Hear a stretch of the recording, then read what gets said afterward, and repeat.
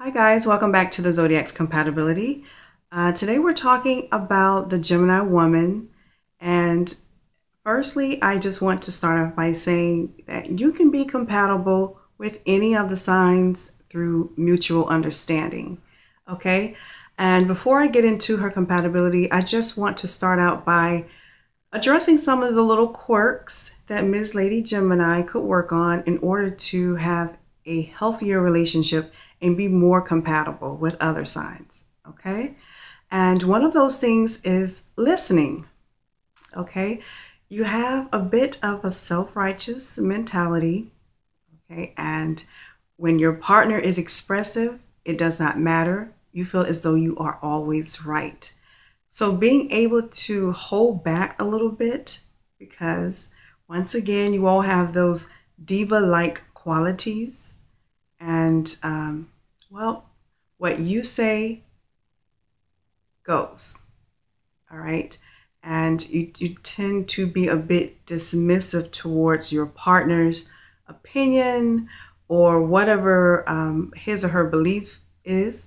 Okay. So just being a bit more willing to pay attention to your partner's perspective or opinions. Okay. Be a little bit more fair in that area. Just listen. You don't always have to reply. You don't always have to dignify every statement, you know. So just sit back and listen, you know. Yeah, in that area. Try to control your diva ways, you know, being a, a bit bossy and demanding at times when you're feeling a bit bratty. Okay, and like a princess, like, yeah, when you're feeling like a princess. So try to contain that behavior. Uh, this way, especially in the beginning of your relationships, you don't come off as such, um, you know, a bitch. yeah, you, you, you don't want to be labeled as that. And it's kind of what a diva is in so many words, I think. But hey, it's just a cute way of saying it. So yeah, just being able to have some self-control in that area of, of, of whenever you want something or need something and listening, okay? please listen to your partner. All right. So if you are willing to date a Gemini lady, some of the, the traits that you may want to already possess, and one being uh, charismatic. She loves a gentleman, a one who has like old fashioned values as far as dating goes, treating the lady like a lady, you know, wining and dining, romancing her. She, this is a romantic sign. So she does like to be pampered. Not too often, but just enough to know that, hey, she is the one and she is special. And most definitely, when you guys go out, you have to have a sense of fashion. This sign loves beauty and the, the outward appearance. appearance. Um, yes, they are a bit materialistic, but granted, when you guys step out in public, you need to make a statement.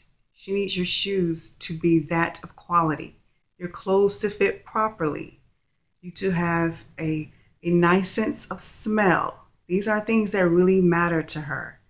And she's going to take note of that the moment you come into her view. Okay, that's like at the top of her list. This is how she, a bit judgmental, okay, this is how she chooses her mates mainly. Yeah, based on pretty much the way they look. Uh, she's not a woman of high standards when it comes to a partner. You don't have to have a PhD as long as you're employed and you can care for yourself. You're a man, you know how to treat a lady. That's pretty much all that matters when it comes to that sort of thing, you know.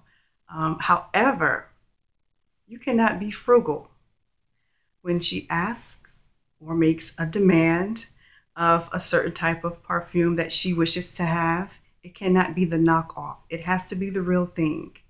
You cannot be a tightwad with this woman. In some areas, you know, she may accept it if you go out of your way in others. Yes, sure. But if you are a tightwad, she will frown upon this. And that would that's a turnoff to her. So try to be a little bit more you know, put yourself out there a little bit more. If you really are trying to be with this girl, unless she's a bit on the tomboy side, then she may not mind so much. However, you must look nice. And you can't be boring. Please, when you have dialogue with this woman, it must have, you know, um, some sort of interest in it. She likes a person who speaks with interest or acts with interest, knows how to have, like, you know, a little small social party on the weekends, know how to engage and be with others have some sort of personality. She loves personality. She's a woman of personality herself.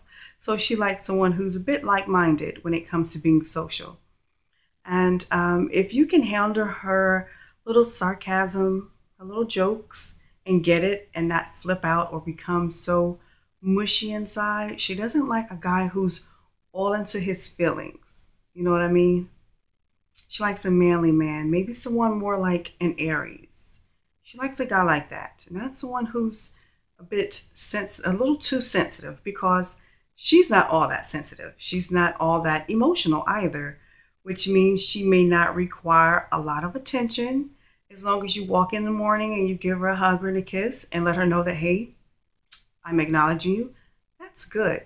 She doesn't need to be uh, on the phone with you all day, or she doesn't have to be in your presence for a long period of time. She knows how to have that distance and that space and be able to miss you. So she's not that mushy, mushy type of woman who just craves adoration and attention. As long as she um, feels the appreciation and she knows that she is needed, okay, yes, definitely.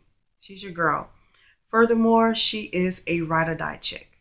She stands by her mate so, therefore, as loyal as she is, she needs a partner who is equally loyal, dedicated, committed to the relationship. You can have several, you know, um, infidelities, and she's the one who's going to be more understanding, a bit naive, I think, but hey, she's she's forgiving nonetheless. So she's going to need you to be equally as forgiving when she you know, tends to make a hiccup in the relationship. So if you can be loyal and you're ready to go the distance in a relationship, this is your girl. Okay. Besides, you're going to have lots of fun. Um, well, that is all for the Gemini woman in a relationship. And uh, also, as far as, you know, her sex life goes, hey, she's all yours. Okay. She's, she's a bit on the wild side, I'd say. So, uh, yeah, all right, so I thank you guys so much for joining me today. This is the Gemini Woman's Compatibility. Be sure to check out the Gemini Woman in a Relationship video if you haven't done so already. And uh, until next time, take care.